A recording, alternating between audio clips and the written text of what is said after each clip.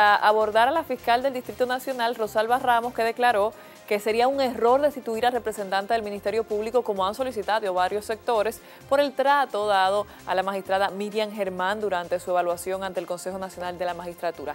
En su defensa, Ramos manifestó que ese es el papel del procurador, negando así que la acción sea una muestra de violencia.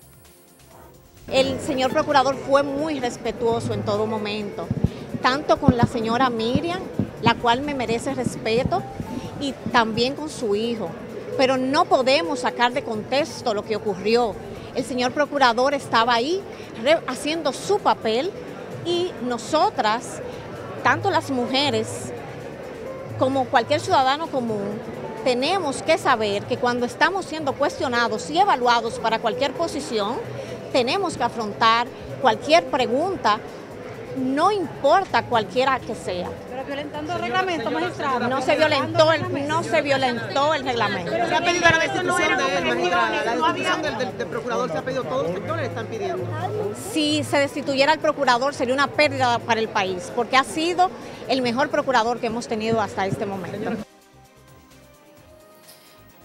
Se recuerda que el Procurador General de la República leyó tres cartas acusatorias contra la magistrada Germán que ocasionó un mar de críticas y pedimentos para que sea destituido.